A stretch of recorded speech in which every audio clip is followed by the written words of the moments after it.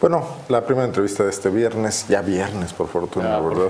Alberto Quintero está con nosotros, él coordina el León In Motion, que es una, un mash-up, que ahorita me vas a platicar qué es eso, de animación y efectos visuales, que se lleva a cabo este fin de semana aquí en León. Así es, muchas gracias por la invitación. Eh, muchas gracias. Pues sí, este, este fin de semana tenemos el primer mashup de eh, animación y efectos especiales. ¿Y qué es un mashup? No? Es un encuentro entre profesionales de la industria eh, de animación y efectos especiales con gente joven y gente interesada en, en estas disciplinas y estudiantes también.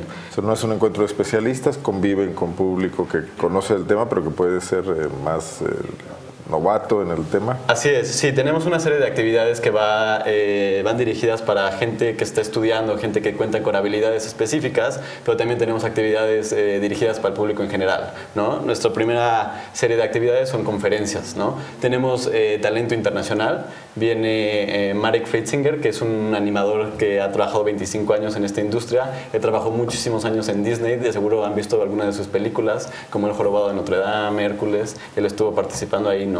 También tenemos talento mexicano eh, en- de efectos especiales. Freddy Chávez es uno de, los, de nuestros conferencistas. Él, ¿De bueno, dónde es? él es de Puebla, pero vive en Vancouver porque este, se lo jalaron. Era, es como es muy talentoso. Este, eh, ha estado como eh, trabajando en diferentes eh, estudios de, de efectos especiales y ahorita está en Vancouver.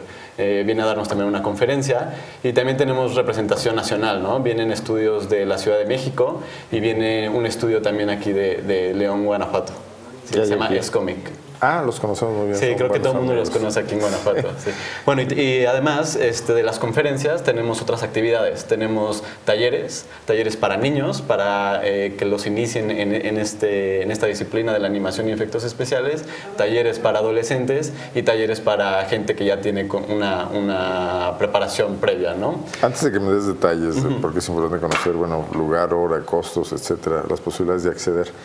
Eh, El tema de la animación se volvió muy complejo porque ahora hay múltiples técnicas, ves películas de una manera, de otra manera, hay escuelas, eh, Es, exactamente, con lo la... japonés es una cosa, lo norteamericano es otra, ¿no? Sí, la, la disciplina cada vez toma más, eh, más relevancia, no nada más en el mundo, en, en México también. Cada vez más universidades abren, abren carreras este, destinadas para, para, esta, para esta disciplina y cada vez más los jóvenes están interesados en incursionar en este terreno. Entonces, muchas de las películas que vemos hoy en el cine son películas animadas y pues los efectos especiales están casi en todas las películas, ¿no? Entonces, este, creímos muy relevante hacer este evento también para darle eh, atención a esto que está sucediendo, no nada más en el país, sino en, en Guanajuato.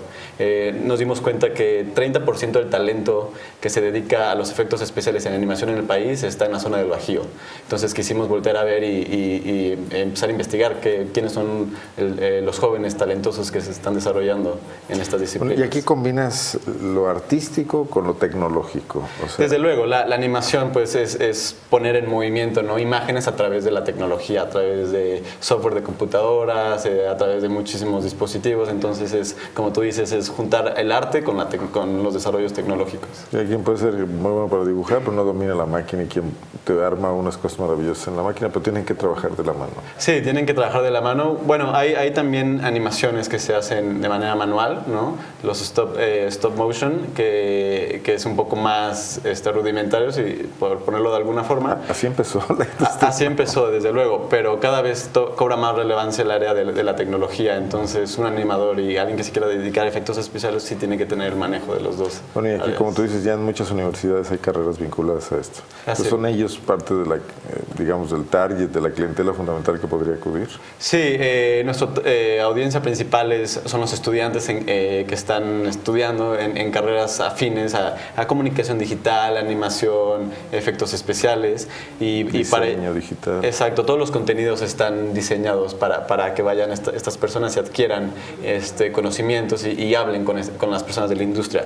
Pero también nuestra eh, audiencia secundaria es el público en general, porque les queremos dar a conocer a aquellos que nunca han escuchado eh, la palabra animación o la gente que nunca ha escuchado la palabra efectos especiales. Queremos eh, darles a conocer de qué se trata, de qué va, ¿no? Eh, y, y decirles que todos participamos ahorita de este tipo de disciplinas. Si vas a ver una película con tu hijo, pues estás viendo el trabajo de un animador, ¿no? Incluso una película de- con actores y de lo más seria posible. tiene- Exactamente. Tiene, animación. Oye, ¿dónde y cómo se desarrolla esto? ¿Qué horarios va a tener? El evento se va a llevar a cabo el sábado y domingo, 3 y 4 de marzo, en el Fórum Cultural eh, Guanajuato que está aquí en, la ciudad de León. Eh, es, todas las actividades son gratuitas para el público, las conferencias, los talleres, eh, eh, las, las, proyecciones de animación, todo, está, todo es gratuito, nada más que les pedimos que se registren en nuestra página web que es leoninmotion.com y para asegurar su registro porque los talleres tienen cupo limitado. Ahorita estamos este, ya casi al tope de, registros de, de talleres, pero todavía tenemos algunos lugares libres por si se quieren registrar, vayan a la página y ahí pueden apartar su lugar. Si alguien no, no, alcanza a registrarse, ¿hay espacio para público que, que te tomen esté asistiendo, pero sin interactuar en talleres? Sí, eh, bueno, te puedes registrar un taller o alguna conferencia. Si, no alcanzan a registrarse, pueden llegar al evento y ahí les hacemos su registro. Y si hay eh, lugares para entrar a la conferencia, pueden entrar a la conferencia. Si hay lugares libres para talleres, también pueden entrar. Para el Foro Cultural tiene varios espacios. ¿En dónde se va a llevar? Las conferencias se van a llevar a cabo en el, en el Auditorio Mateo Herrera. Los talleres van a ser enfrente, que es en el museo. en la zona de abajo hay unos, unos salones de talleres. y también vamos a tener otras sesiones, que son sesiones de, de mentorías y, de, le llamamos Job Market, que es mercado laboral. Y lo que hacemos es que los, los conferencistas no nada más dan una conferencia, sino que después tienen una sesión uno a uno con, con gente que quiere que le revisen su trabajo. ¿no? En pocos minutos para poder alcanzar a verlos a todos. Exacto, sí. Tienen como unos cinco minutos, tú le enseñas su trabajo, el, animador te da eh, un una retroalimentación, te da consejos y posibilidad de vinculación, ¿no? A lo mejor este, pues quedan para trabajar en un futuro, ¿no? Y en las noches, para cerrar cada día, tenemos espectáculos para toda la familia. El sábado tenemos una proyección de, la, de una película animada mexicana que se llama La Familia Monster y va a estar en la, plaza, en la Calzada de las Artes, que está entre la Universidad de Guanajuato y el, Auditorio Mateo Herrera, eh, y es, es, una premier de, de, esa película. Y el sábado, el domingo... En la noche para que pueda ver. Exactamente, a las 7 de la noche. Y el domingo tenemos un espectáculo que se llama Animalic. Es un ensamble de la Ciudad de México y lo que ellos hacen es juntar este, curaron cortos animados de muchas partes del mundo y ellos los musicalizan en vivo. Entonces van a estarse proyectando esos cortos creados específicamente para este, este espectáculo. ¿Y música en vivo? Y va a haber una pequeña orquesta este, poniendo música a todos los cortos que estamos viendo. ¿El domingo 7 de la noche? El domingo es 7 de la noche. Igual en Calzada de las Artes. también en Calzada de las Artes. Este es evidentemente para un público en general, entonces ahí no hay necesidad de registro y nada más hay que llegar y apartar su lugar. Muy bien. Bueno, pues mucho éxito. Los, los, talleres empiezan mañana, sábado, ¿a qué hora? Mañana las conferencias y talleres empiezan a las diez y media. Entonces, eh, lleguen temprano, aparten su lugar y, pues disfruten del evento. No se desvelen hoy viernes. Sí, no. Bueno, yo te agradezco muchísimo, Alberto. Alberto Quintero es el coordinador general de Leonin Motion, este primer mash-up de animación y efectos visuales del Bajío. Eh, ya viniste muy pegadito al evento, que es mañana y pasado mañana, pero bueno, pero todavía hay lugares. Todavía hay lugares. Es la buena noticia y también espacios para público en general. Bueno, que sea el primero de muchos. Sí, ojalá. Muy bien.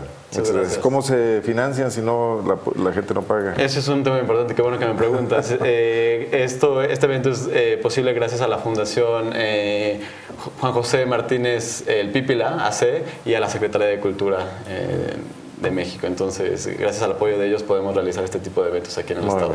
perfecto. ¿El foro participa solo como sede y Sí, sí, sí. Bueno, gracias. Regreso en un momento, vamos a una pausa.